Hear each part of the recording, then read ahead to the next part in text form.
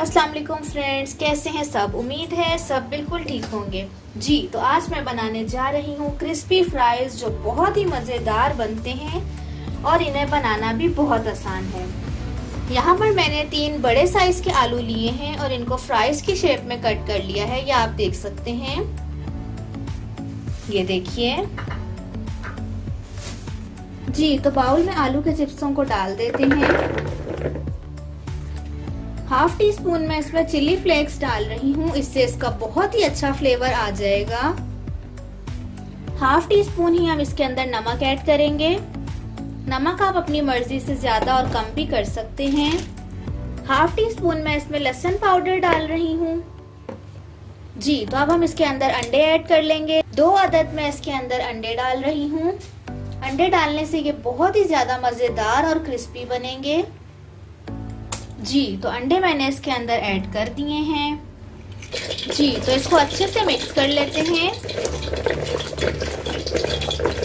जी तो अंडा अच्छे से मिक्स हो गया है। अब मैं इसके अंदर मैदा ऐड कर रही हूँ। मैदा अगर आप ज़्यादा डालेंगे तो आपके चिप्स क्रिस्पी ज़्यादा बनेंगे।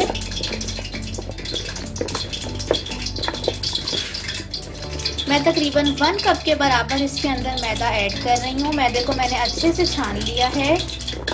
जी तो ये देखिए, मैदा और अंडा अच्छे से मिक्स हो गया है। कढ़ाई में मैंने तेल गरम कर लिया है। जी तो ये देखिए, आलू के चिप्स हम इसके अंदर डालते जाते हैं। अलहदा अलहदा मैं इसलिए डाल रही हूँ ताकि ये आपस में चिपके ना। इनको दो मिनट तक चम्मच से बिल्कुल भी नहीं चलाएँगे, वरना इनकी कोटिंग खराब हो जाएगी। जी तो ये देखिए, चिप्स यहाँ पे पक रहे हैं। थोड़ा सा इसको चम्मच की मदद से हिला लेते हैं। अंडा डालने की वजह से ना ये चिपकेंगे। ये देखिए आप। फ्राइज को अच्छे से गोल्डन करेंगे।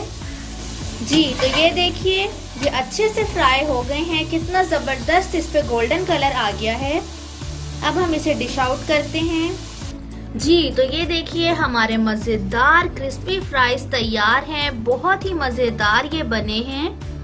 और कितनी आसानी से और जल्दी से ये बन गए हैं, ये आप देख सकते हैं। केचप के साथ इसको खाएँ। आपको बहुत ही ज़्यादा पसंद आएगी ये रेसिपी आपसे फिर मुलाकात होगी एक नई रेसिपी के साथ। तब तक के लिए अल्लाह हाफिज़।